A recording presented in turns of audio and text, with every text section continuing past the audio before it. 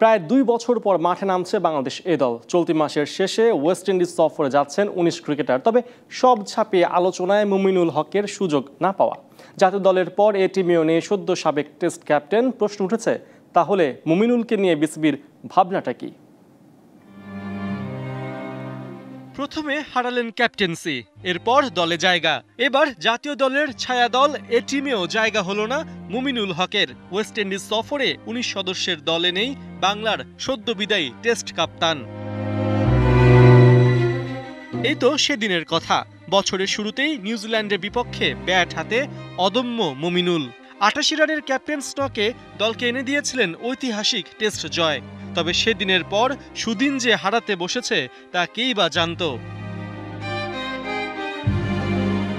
সবশেষ নয় ইনিংসে সিঙ্গেল ডিজিটে আউট লিটল মাস্টার। ব্যাটিংটাই ভুলে যেন দিশেহারা। অনেকটা বাধ্য হয়ে অধিনায়কত্ব ছাড়লেও মেলেনি স্বস্তি। রানের দর্শন হয়নি ক্যারিবীয় দ্বীপে।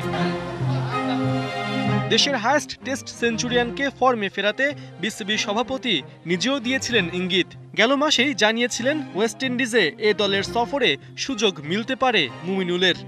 অবশ্যই আমাদের চিন্তায় তো থাকবে বাট এটা এখন এই আমার বলাটা কঠিন, কারণ আমি এখনও সিলেক্টরদের সাথেও কথা বলি নাই। ম্যানেজমেন্টের সাথেও কথা বলি নাই কোচিং স্টাফের সাথে কারোর সাথেই কথা বলি নাই। বাট আমার ন্যাচারালি মনে হয় হ্যাঁ এটা তো ওর জন্য একটা এক্সেলেন্ট অপরচুনিটি হতেই পারে। বোর্ড প্রেসিডেন্টের ইচ্ছা থাকলেও টিম ম্যানেজমেন্টের পরিকল্পনা অন্য। ওয়েস্ট ইন্ডিজে সবশেষ টেস্ট খেলা, খালেদ এ দলে জায়গা পেলেও জায়গা মেলেনি মুমিনুলের। অনেকটা ভেতরের খবর। ফর্মহীন মুমিনুলকে নিয়ে ঝুঁকি নিতে চায়নি টিম ম্যানেজমেন্ট।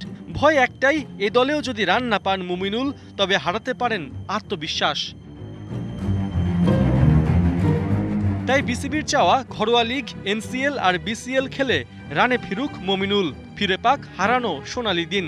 তবে বিসিবির চাওয়া যাই হোক, জাতীয় দলের পর এ দলেও সুযোগ না পাওয়া মুমিনুলে কতটুক আত্মবিশ্বাস অবশিষ্ট আছে? এখন সেটাই বড় প্রশ্ন।